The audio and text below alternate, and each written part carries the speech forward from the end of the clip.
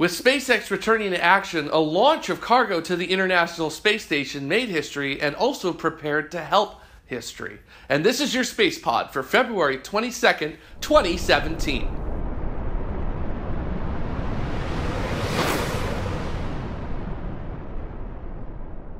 The launch of CRS 10 by SpaceX this past weekend was one part history, one part science, one part much needed supplies, and a double dose of badass. So, let's get on to what this was all about. Launch Complex 39A was a new generation of launch complexes when it was built, designed to handle the largest and most powerful rocket of that time, the Saturn V.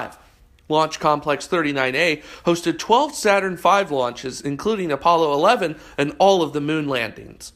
It was then converted for use during the shuttle program and served over 82 shuttle launches, including STS 135, the last of the Space Shuttle program. Overall, in its history, LC 39A has hosted 94 launches, with its 95th kicking off a new generation of launch vehicle to use the pad. In 2014, NASA and SpaceX agreed upon a 20 year lease of Launch Complex 39A, turning it into a commercial launch facility. And that first launch happened on February 19, 2017, with the Commercial Resupply Services 10 mission, launching a Dragon with 2,500 kilograms of supplies and experiments. Those supplies have been much needed since the stand down of SpaceX launches and Russian Progress launches to the International Space Station. After a scrub the day before, the 24 hour turnaround yielded a perfect launch. Two, one, zero, liftoff.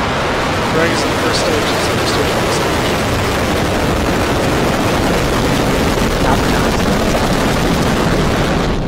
Along with the first successful daylight landing of a Falcon 9 first stage at Cape Canaveral.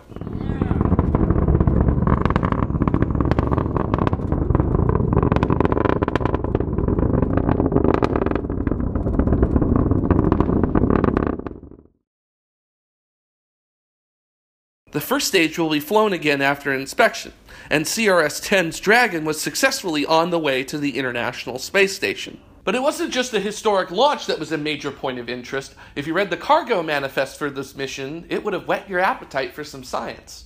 NASA's SAGE 3, SAGE standing for Stratospheric Aerosol and Gas Experiment 3, this is an ozone monitoring sensor that will use sunlight and moonlight passing through the upper atmosphere of the Earth to measure pollutants and particles.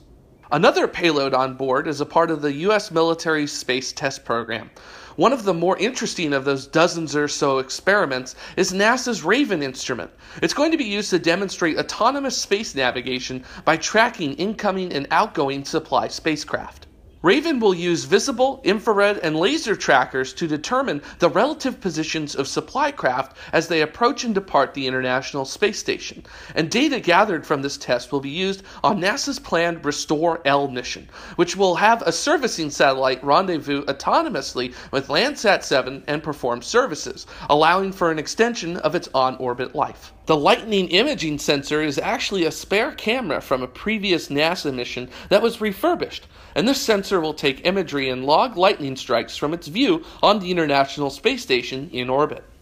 In addition to outside experiments, there were a whole host of biological experiments being carried inside, such as 40 mice, a multitude of experiments to see how bones heal in microgravity, and experiments on bacteria and stem cells to see how they may change in the microgravity environment. Thanks for watching this Space Pod. I'm Jared Head. Got a favorite aspect to this fully loaded story of science and cargo? Well, let me know in the comments below. And of course, don't forget to let us know on our various social media channels where you can reach us. And of course, a huge thank you to all of our Tomorrow Space Pod Patreon patrons. Without you, we wouldn't be able to do these Space Pods. If you'd like to help crowdfund the Space Pods of tomorrow, head on over to patreon.com slash spacepod. So, until the next space pod, keep exploring.